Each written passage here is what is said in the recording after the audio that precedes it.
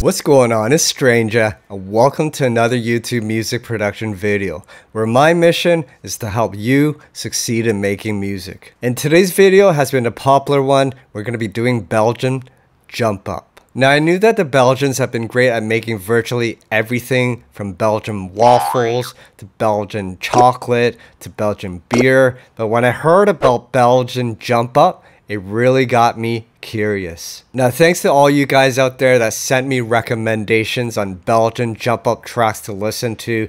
You've sent me stuff from Captain Bass to Bass Tripper, as well as the new and talented producer Latte. Shouts out to Latte. And I really studied this sound, and I'm gonna say that today's video is my first attempt at Belgian jump up. Now for all you guys that know this sound a little more in depth, you're gonna have to keep me honest. Let me know how I did, if I was successful, or if there's something I still need to get that Belgian jump up sound. Now after studying this genre, I know that there are a number of different bass sounds that are being used in this style. However, in today's video, we're gonna keep it a little more basic, and we'll call this level one of Belgian jump up. Now, one thing that came to mind when I was listening to this genre was that there's this bass sound that made me think of Dr. Evil in Austin Powers when he meets his son for the first time. He, he does that ducka ducka ducka dance. So keep that in mind because that's going to play out in how we're going to design the sound today. And as I've been doing recently, I'm just going to give you guys the preset for free in the description below. And all I ask of you is to like the video, write a comment, share it, and if you want to receive more content like this, then make sure you hit the subscribe button and the bell notification. So without further ado, let's get right into it. Okay, so we're going to be doing this with Serum. Now we're going to be using only one oscillator and the goal is to find a wavetable that has a lot of harmonics. So we're looking for something that has a nasally texture to it. It almost sounds like an alien talking, and that's what we want. So I found that a number of different waveforms can give you this result, especially the wavetables in the digital section as well as the spectral wavetables. So for example, the monster wavetables are great. The Reese wavetables also work. Trilobite also works as well. So I encourage you guys to explore the different wavetables because it really gives you a different sound. And this is the goal here is to learn the technique so you can make it your own sound. So I'm going to try Monster 3 here. And notice how it sounds like an alien talking. I'll just go through a couple so you can hear. Here's Monster 2.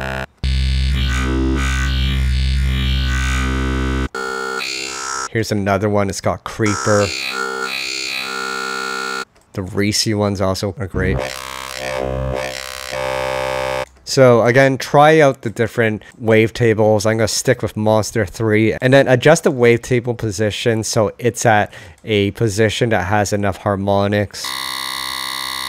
Now, as I mentioned earlier, the main concept of creating this sound is to articulate different parameters to make it sound like it's saying a word. So we're going to create syllables such as the ducka ducka ducka by modulating the volume using the LFO as an envelope. And just for reference here, I have the Austin Powers sample here.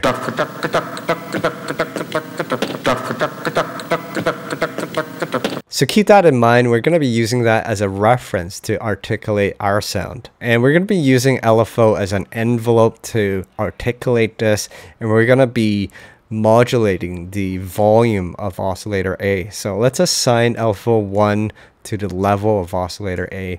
Then bring the level all the way down and then drag the amount all the way up. Now, enable the envelope mode for LFO1 so it only cycles once. To get that ducka ducka sound, there's two syllables, right? Ducka.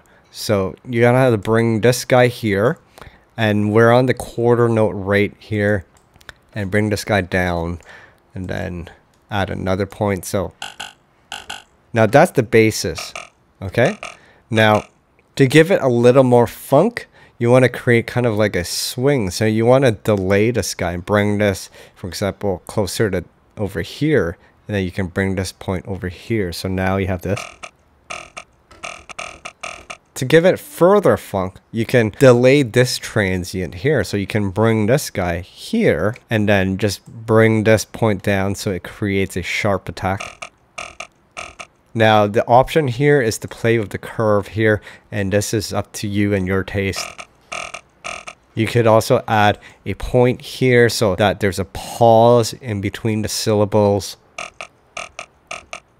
So that's the options for you. You could have it straight like that or you could add a pause in between the syllables. I'll put it around here. Alright, so that's the sound and we're done.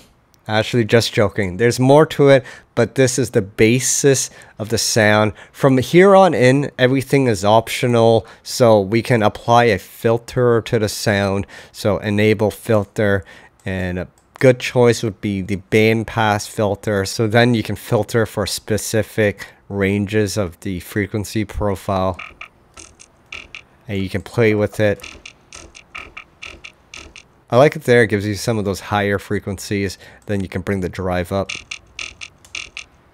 Okay, so now onto some effects. Again, this is optional, but you could add some distortion, increase the drive. Now you could modulate the drive of the LFO1, so bring LFO1 over. Just bring it down a bit. Now I found adding a phaser brings out some nice qualities in uh, the bass here. So let's turn on the filter. Now we're going to change the rate down here. We don't really want the rate to fluctuate. It's all about adjusting the depth and the frequency. I find right there sounds good, but again, it's really up to you how you like it to sound. Now optional, you can add a bit of delay just bring down the wet signal. Now we're gonna EQ it and just filter out the bottom end. So turn on the high pass here and then adjust the frequency. For this one, I kind of like it higher up around 200 to 400 hertz. And then go back to the main section and let's turn on the sub oscillator and just hit direct out so it bypasses the effects section.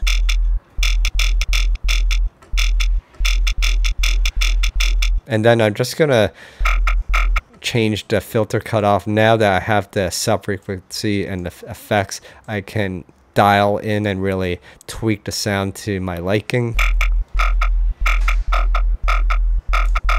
Okay, so that's the basic sound in Serum. Now to add some sauce, you can add saturator and then drive the signal.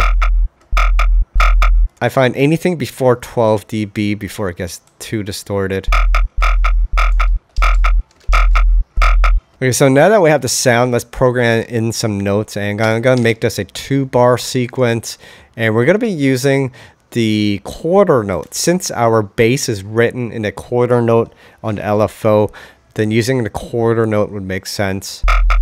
And then just find the right octave, which is octave 0. And then you can add a note like that.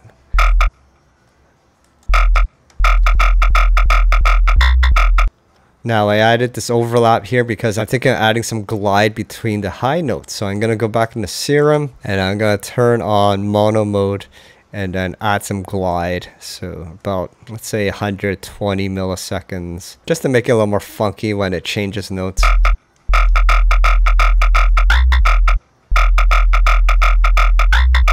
Okay, so now let's hear how it sounds with a beat.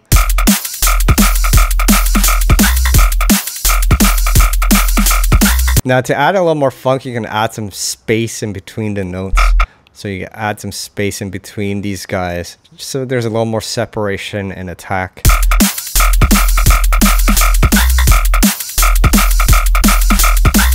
Now another thing you can do is automate the wavetable position as well as the cutoff position. So we'll demonstrate each one separately. Now I've configured the wavetable position and filter cutoff here for Serum. If you don't see it, simply hit the configure button then hit the relevant knobs, then they should appear here. So I'll first show you automating the wavetable position. So make sure you're in automation mode, hit this button here, and then we're in the quarter notes. We're going to be changing the wavetable position per note. So we could perhaps bring this guy down here and then bring these guys up here and then maybe bring this guy back down here like that.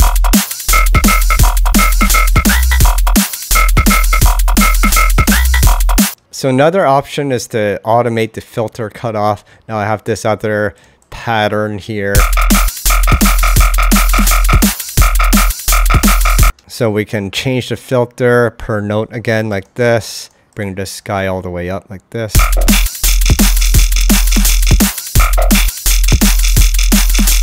So again, that's automating the filter cutoff and we're using a bandpass filter. However, I would suggest you guys experiment with other filters. You can try high pass and even low pass and play with the resonance and cutoff. Now another tip you can try with this bass is interchange between a bass sound. Now I have this other Belgian jump up sound created here and we can show you how I made this sound in a future video. But basically we're going to be switching between the two sounds. So I have this sound here.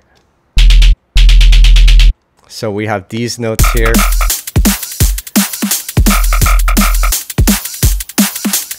And then I'm gonna fill the space in between with this bass here. And this is playing a triplet rhythm which is used a lot in Belgian jump up and this sound was inspired by Captain Bass so shouts out to Captain Bass. Now let's hear it both together